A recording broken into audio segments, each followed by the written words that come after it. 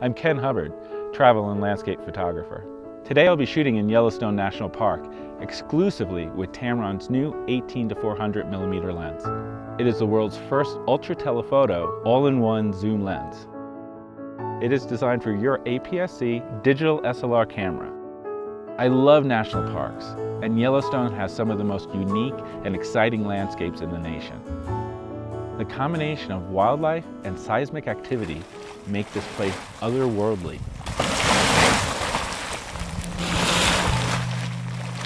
Here at the Firehole, the waters are almost boiling, creating a tremendous amount of steam. So it's a good thing this lens has moisture resistant construction.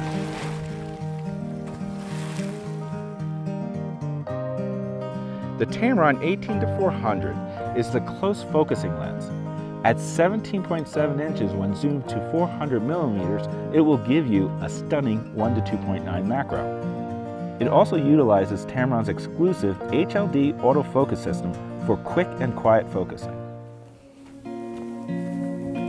With so many active geothermal features in Yellowstone National Park, it feels like it's still being created.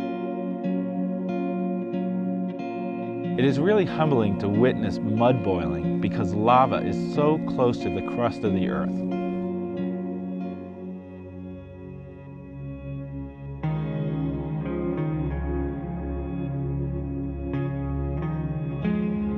I was hoping to have clouds at sunset, but when they didn't arrive, I concentrated on shooting the reflections in the pools all along the basin.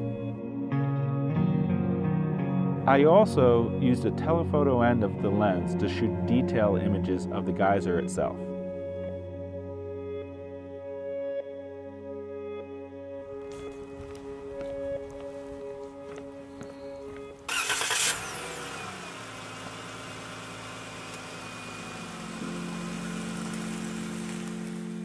This morning I got up before dawn to drive out to Artist Point to shoot the famous waterfalls at sunrise.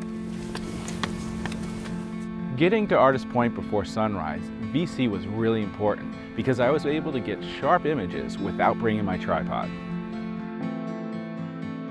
VC is Tamron's vibration compensation. It's an image stabilizer within the lens. It allows me to effectively handhold while capturing images at slower shutter speeds. I don't usually like getting up before dawn, but when I get to a location and there's beautiful light and no one else there, it's definitely worth it. When traveling through a national park, you should have your camera ready at all times because you'll never know what you'll find around the next bend.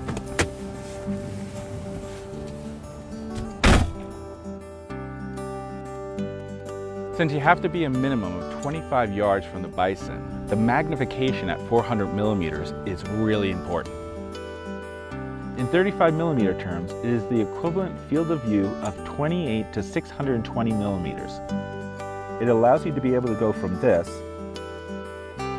to this in seconds without changing lenses.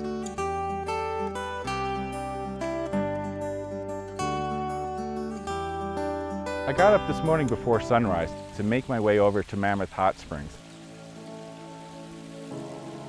Eh, a little bit of boiling water doesn't affect the bird.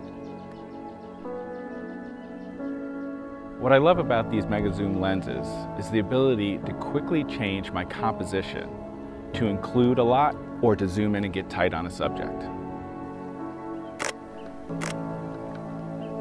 When the sun crested over the mountain and hit Canary Spring, it was visually stunning.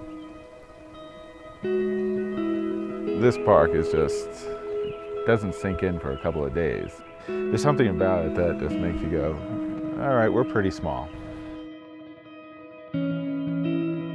With the combination of great light, the steam rising, and Tamron's 18 to 400, I was able to get this.